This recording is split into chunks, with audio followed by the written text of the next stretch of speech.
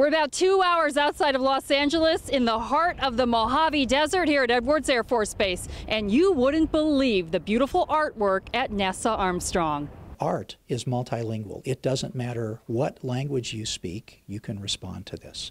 And it doesn't matter how old you are, you can respond to this. It's the reason NASA created an art program in 1963, and it's the reason all the way out here you'll find amazing aerospace art. Much is the work of famed aerospace artist and World War II bombardier Robert McCall, with dozens of pieces by other artists too. This is the Spirit of Flight research from 1977, painted by McCall on on a linen covered wall. While everything is focused on Chuck Yeager's X 1, some details are fixed on the future.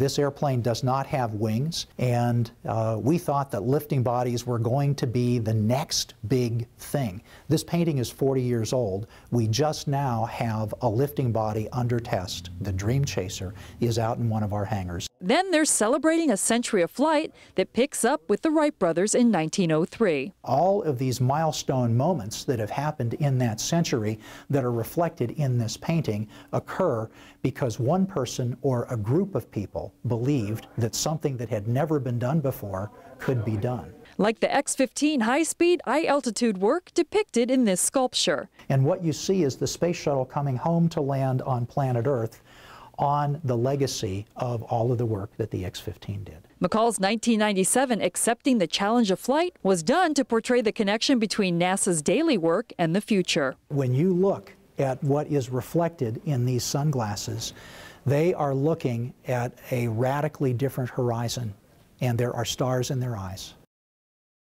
Carla Thomas, Dana Purifoy, Ting Tseng, and Anthony Moreno all still work here and are all depicted in the mural, though. McCall told us we wouldn't be recognizable in the painting, but I'm thinking we look like ourselves. McCall did his last painting at the age of 90, the 2009 portrait of Neil Armstrong called The Real Right Stuff. We took a map of the moon and looked, and that is an accurate map of Tranquility Base where that landing occurred.